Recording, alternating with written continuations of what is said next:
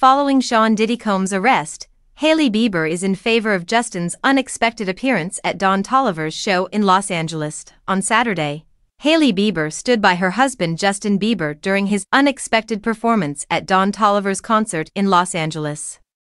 When the pop star surprised fans with an uncommon on-stage appearance during the rapper's Psycho Tour stop at the Crypto.com arena, the Rhode founder was accompanied by friends, including Lori Harvey, Hailey, who gave birth to her first child with Justin in August, posted a video of her man entertaining the crowd on her Instagram story the Peaches hitmaker teamed up with Toliver, 30, to give fans a special live performance of their 2023 song Private Landing.